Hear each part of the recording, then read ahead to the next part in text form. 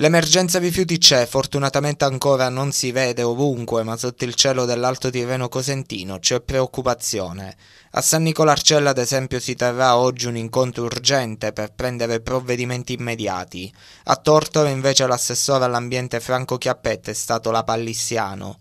O in settimana conferiamo l'indifferenziato in discarica o da lunedì non possiamo più raccoglierlo. Lo spazio nei cassoni sta finendo. Ed ecco il bollettino di guerra, l'impianto di Lamezia Terme dove conferiscono tutti i comuni della Riviera dei Cedri viaggia a velocità ridotta e i camion tornano indietro. La regione Calabria aveva dirottato tutti verso Rende presso l'impianto della Calabra Maceri, ma subito dopo è arrivato lo stop.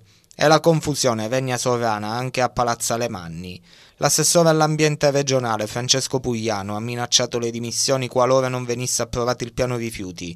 Ciò vorrebbe dire che si ritornerebbe al commissario. Tornando sul Tirreno Cosentino a Scalea già si vedono da giorni gli effetti del collasso con spazzatura nelle piazzole che viene portata via con i mezzi meccanici, e scendendo verso sud la situazione peggiora chilometro dopo chilometro. A rendere difficili le cose ci pensa anche l'inciviltà. Queste foto riguardano una discarica abusiva scoperta in località Pietra Rossa di Diamante. A scattarle i membri del movimento per una diamante migliore. A Praia Mare le zone preferite dove vengono abbandonati i rifiuti rimangono le località Fortino e Foresta e la zona della ex linea Lane. Gli agenti della Polizia Municipale dell'isola Dino operano anche in borghese per fermare i trasgressori. Ma cosa sta accadendo in queste ore? Gli amministratori del Tirreno aspettano le comunicazioni della regione, ossia il calendario con i turni di scarico che farà rientrare temporaneamente lo stato di allerta. Per alcuni comuni dovrà arrivare entro 24 ore,